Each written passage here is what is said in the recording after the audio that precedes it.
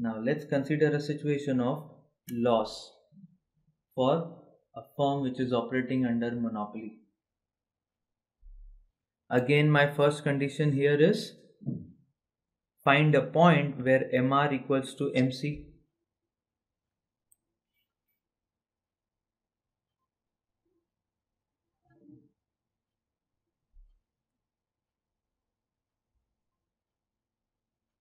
This is my MR curve and this is my MC curve. Now where is MR cutting MC? At this point. This point is named as E because it becomes my equilibrium point. Thus OQ becomes the equilibrium quantity. Now second step is comparing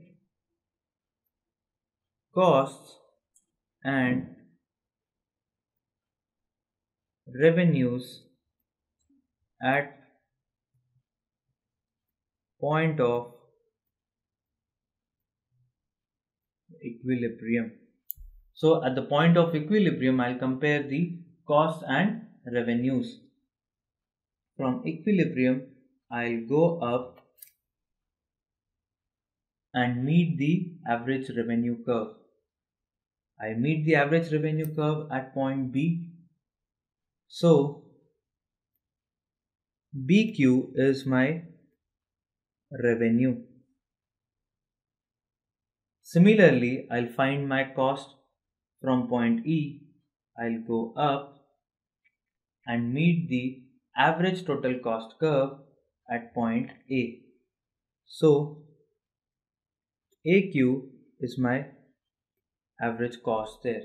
I can see that AQ is, is greater than BQ. Thus I can say my cost is greater than my revenue. And we all know if the cost is greater than revenue, you'll have a case of losses which is shown by this rectangle ABPC.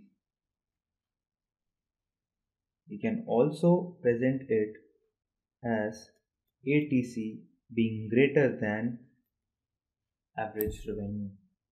So you call it by this that is cost being greater than revenue or average total cost being greater than average revenue. This all means the same thing that the firm is incurring losses because the cost is more than the revenue.